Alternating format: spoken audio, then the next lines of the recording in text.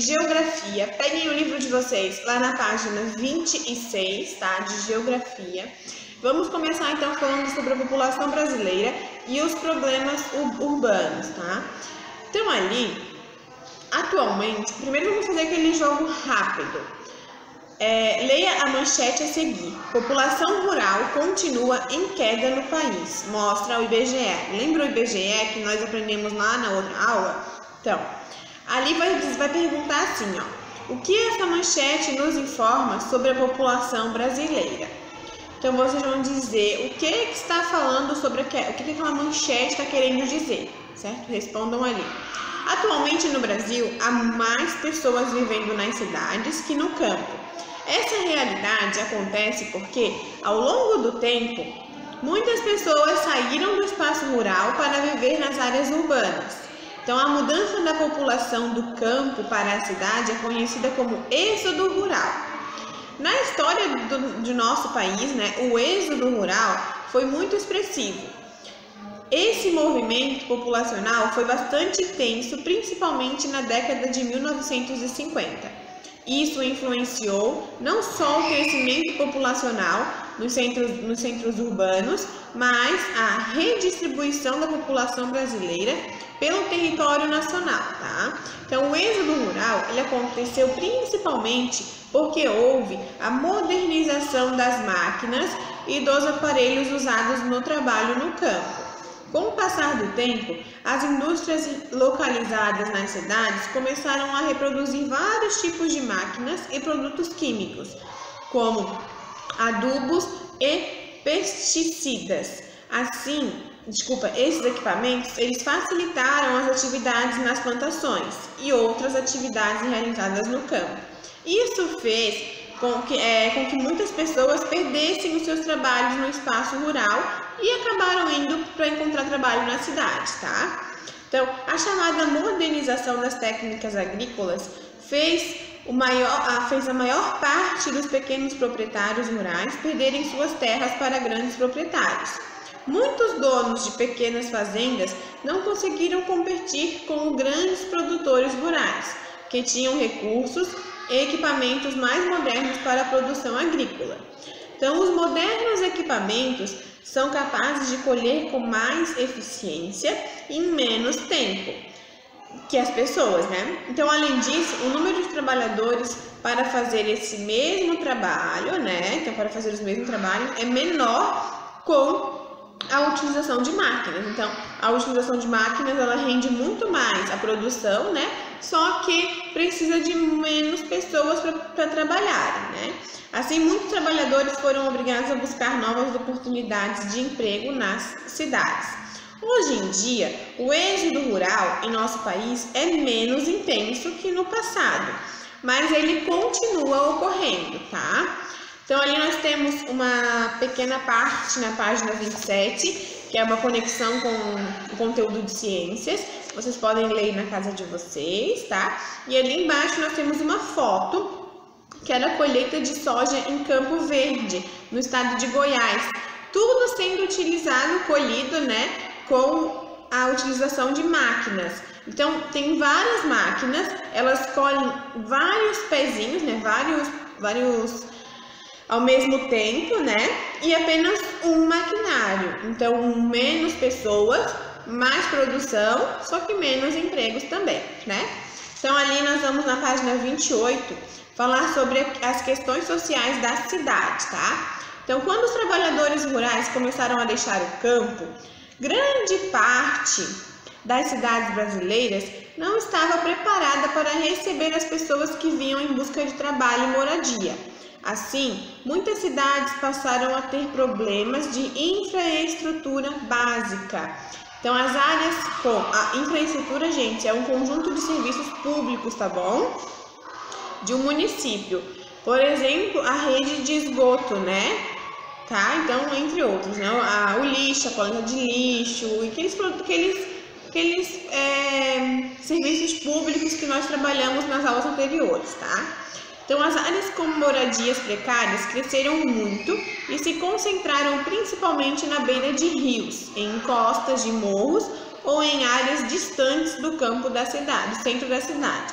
Então, como vimos, esses problemas foram ocasionados porque a maior parte das cidades não estava preparada para receber grande quantidade de pessoas em um curto espaço de tempo. Né? Então, em pouco tempo, várias pessoas se mudaram ao mesmo tempo, certo?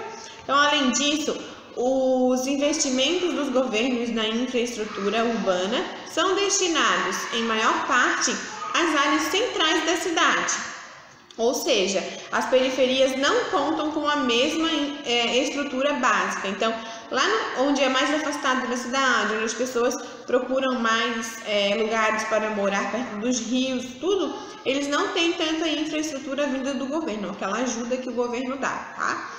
Então, ali nós temos embaixo uma moradia, é, moradias né, que são improvisadas ao longo de uma rodovia no Mato Grosso do Sul. Então, eles são pessoas que vieram de algum lugar e se alojaram ali, tá? Nas cidades, principalmente as grandes, os altos preços das moradias e dos aluguéis, a falta de emprego e os baixos salários forçam muitas pessoas a viverem em situações precárias.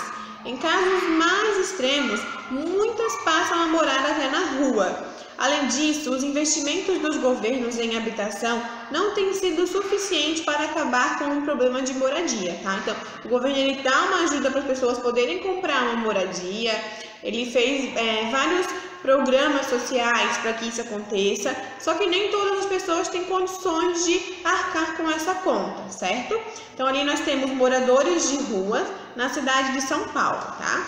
Então, lá em cima nós temos um desafio, vocês podem fazer esse desafio e vamos continuar a nossa leitura. Moradias inadequadas ou a falta delas não são os únicos problemas sociais verificados, então principalmente nas grandes cidades, né? Então existem outros problemas observados nos centros urbanos. Vamos conhecer alguns deles.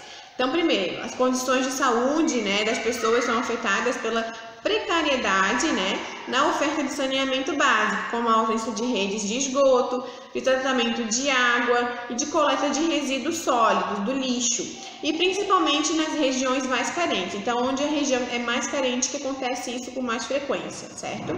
Então, nós temos a foto né, de, do lixo despejado indevidamente em terreno de uma rua né, no município de Belém, em 2014, essa foto.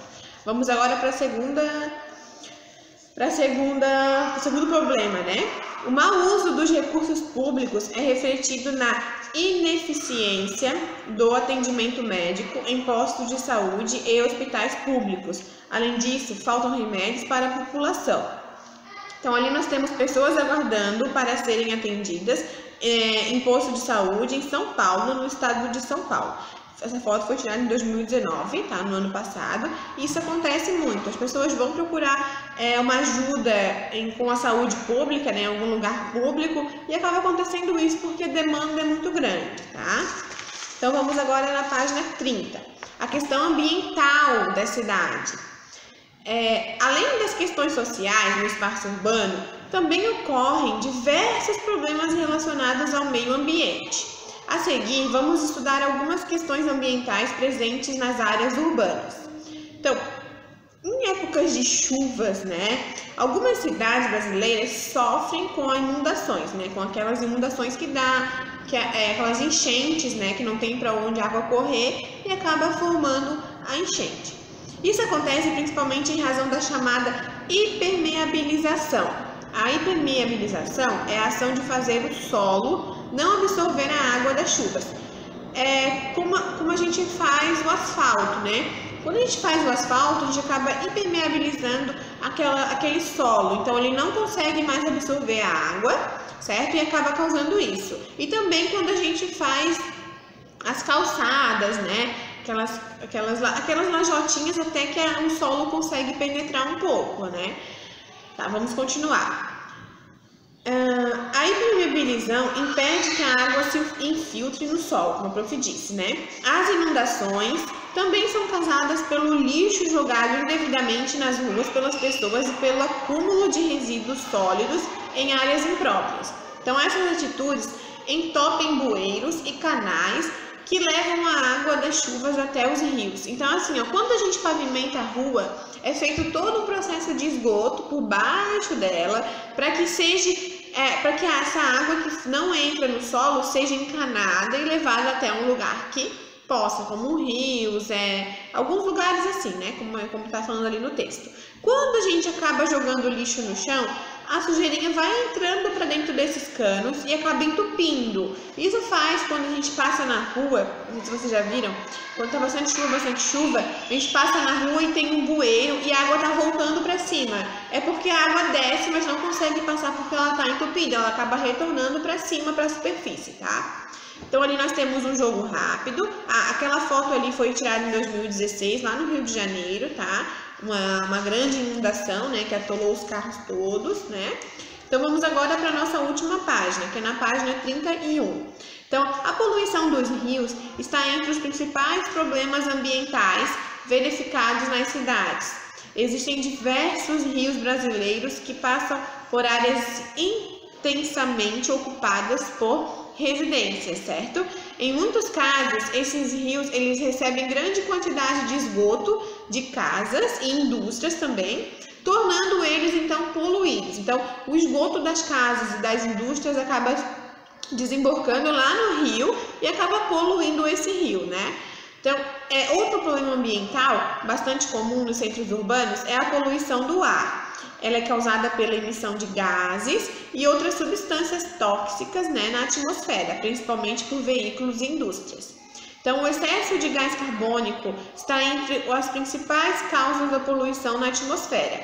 Em altas quantidades, ele não só afeta a qualidade do ar, né, como também prejudica as condições de saúde da população. Então, várias doenças, principalmente respiratórias, como bronquite, asma, rinite, pneumonia, são causadas pela inalação de gases poluentes, certo? Então, ali nós temos mais um jogo rápido para vocês fazerem. E assim, gente, nossa, essa é a nossa última aula, né? A nossa última videoaula. Vocês podem pegar durante as férias e realizar algumas atividades do livro que não foram realizadas durante esse ano. Nosso ano foi bastante conturbado, né? Por isso que a gente acabou não conseguindo concluir exatamente todas as páginas do livro. Mas eu acredito que o conteúdo importante vocês aprenderam, tá? Um beijo para vocês e até a nossa próxima visita, né? Até o ano que vem, então, gente.